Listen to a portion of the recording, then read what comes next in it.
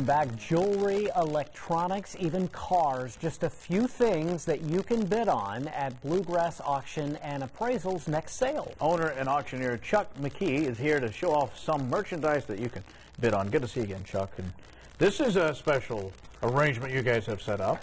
This is a, a fairly uh, nice auction. This is uh, one of the nicer states you're going to see uh, come through anywhere and be done. So uh, it, it's particularly nice.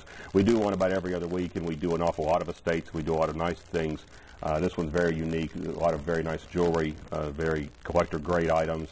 I brought the smallest rug that they have. We have uh, Keshan and I mean just fabulous Oriental rugs out of this home.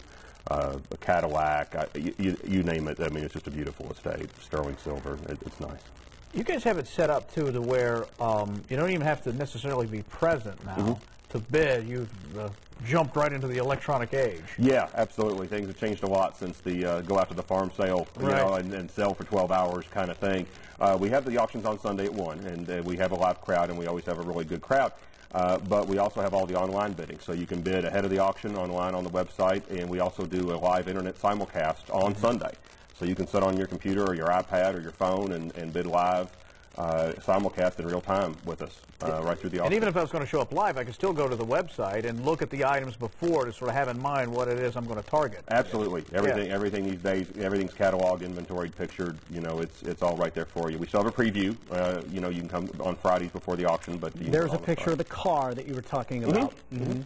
Yeah, it's gorgeous. 2002 Cadillac, just some 20,000 miles.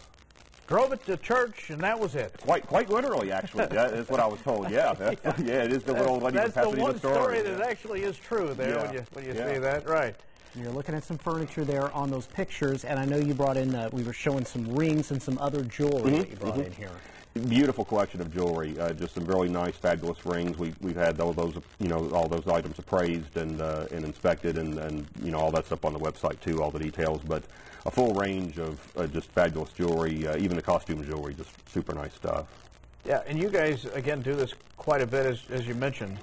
So if you go to the website, yeah, I Mm-hmm. guess you give sort of a preview of what's coming next. Yeah, this is. I mean, that's the thing is, uh, this is a very nice one, but it's a regular thing for us. With, You Yeah. know, about every two weeks, uh, we'll have estates and downsizing. We do, uh, you know, antiques, modern furniture, vehicles, anything that would come out of these estates uh, that are that's very nice. And so, yeah, everything's up on the website.